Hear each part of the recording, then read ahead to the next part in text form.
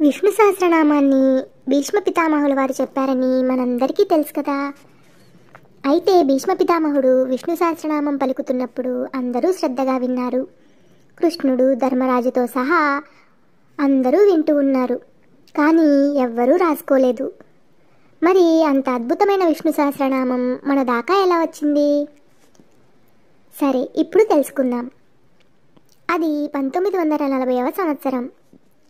శ్రీ శ్రీ శ్రీ మహాపెరియవ కంచి పరమాచార్య చంద్రశేఖర సరస్వతి మహాస్వామి వారిని ఒక వ్యక్తి ఇంటర్వ్యూ చేయడానికి టేప్ రికార్డర్తో వచ్చాడు.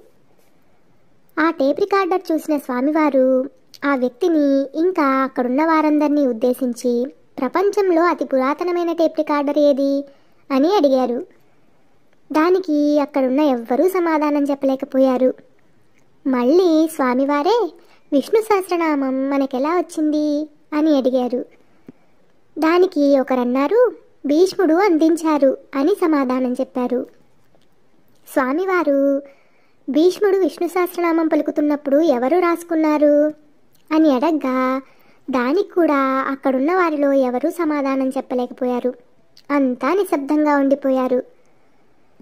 ఇంకా చేసేదేమీ లేక స్వామివారే సమాధానం చెప్పడం మొదలుపెట్టారు.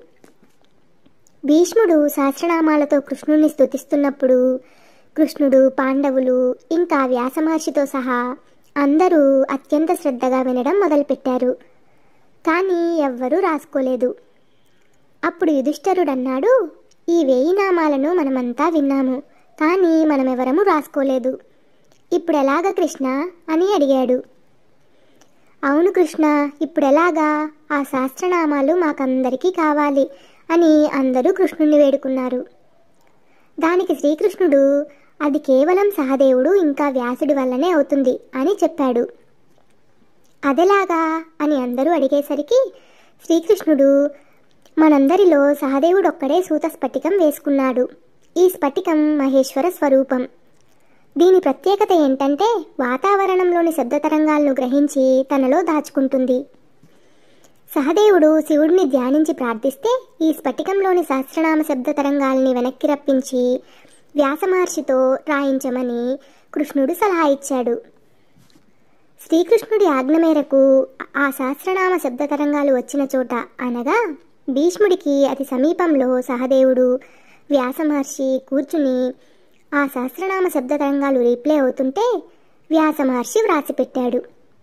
ఆ విధంగా మనకు మొట్టమొదటి టేప్ రికార్డర్ శివస్వరూప స్ఫటి స్ఫటికం ద్వారా మనకి విష్ణు సహస్రనామం అందిందని మహాస్వామి వారు సెలవిచ్చారు.